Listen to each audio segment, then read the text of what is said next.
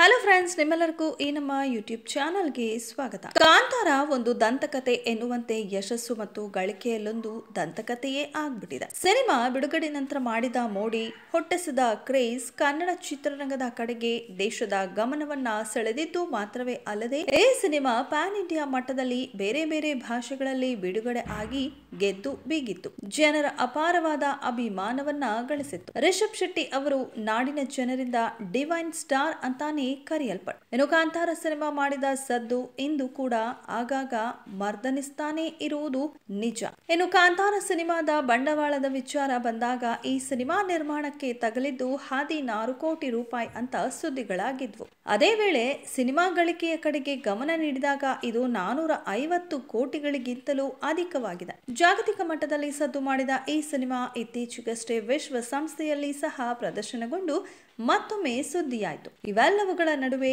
ಈಗ ಸಿನಿ ಪ್ರೇಮಿಗಳು ಮತ್ತು ಅಭಿಮಾನಿಗಳ ಕುತೂಹಲವು ಕಾಂತಾರ ಟು ಸಿನಿಮಾ ಕಡೆಗೆ ನೆಟ್ಟಿದೆ. ಆಗಾಗ ಇದರ ಕುರಿತಾಗಿ ಹೊಸ ಅಪ್ಡೇಟ್ಗಳು ಹೊರಬರ್ತಾನೆ ಇದೆ. ಕಾಂತಾರ ಸಿನಿಮಾದ ಶತದಿನೋತ್ಸವ ಸಮಾರಂಭದ ವೇಳೆ ನಟ, ನಿರ್ದೇಶಕ ರಿಷಬ್ ಶೆಟ್ಟಿಯವರು ಕಾಂತಾರ ಟು ಸಿನಿಮಾದ ಘೋಷಣೆಯನ್ನ ಮಾಡಿದ್ರು. ಅಲ್ಲದೆ ಈಗ ಬರುವುದು ಪಾರ್ಟ್ ಒಂದು, ನೀವು ನೋಡಿದ್ದು ಪಾರ್ಟ್ ಎರಡು ಅಂತ ಹೇಳಿ ಇನ್ನಷ್ಟು ಅಚ್ಚರಿಯನ್ನ ಮೂಡಿಸಿದ್ರು ರಿಷಬ್ ಶೆಟ್ಟಿ. ಸಿನಿಮಾದ ಕಥೆಯನ್ನ ಬರೆಯಲು ಪ್ರಾರಂಭಿಸಿರುವ ವಿಚಾರವನ್ನ ಅವರು ಯುಗಾದಿ ಹಬ್ಬದಂದು ಸೋಷಿಯಲ್ ಮೀಡಿಯಾ ಮೂಲಕ ಎಲ್ಲರೊಟ್ಟಿಗೆ ಹಂಚಿಕೊಂಡಿದ್ದಾರೆ. ಇನ್ನು ಕಾಂತಾರ ಒಂದರ ನಂತರ ಎರಡು ಸಹಜವಾಗಿಯೇ ಸಿನಿ ಪ್ರಿಯರ ಆಸಕ್ತಿಯನ್ನ ದುಪ್ಪಟ್ಟು ಮಾಡಿದೆ. ಕಾಂತಾರ ಕಂಡ ದೊಡ್ಡ ವಿಜಯದ ನಂತರ ಸಹಜವಾಗಿಯೇ ಈ ಸಿನಿಮಾದ ಮುಂದಿನ ಭಾಗಕ್ಕೆ ಬೇಡಿಕೆ ಹೆಚ್ಚಾಗಿದೆ. ಇನ್ನು ದೇಶದಾದ್ಯಂತ ಸಿನಿ ಪ್ರೇಮಿಗಳು ಕಾಂತಾರ ಟೂ ಬಗ್ಗೆ ತಿಳಿಯಲು ಉತ್ಸುಕರಾಗಿರುವಾಗಲೇ ಈ ಸಿನಿಮಾಗಾಗಿ ನಟ, ನಿರ್ದೇಶಕ ರಿಷಬ್ ಶೆಟ್ಟಿಯವರು ಪಡೆಯುತ್ತಿರುವ ಸಂಭಾವನೆ ಎಷ್ಟು?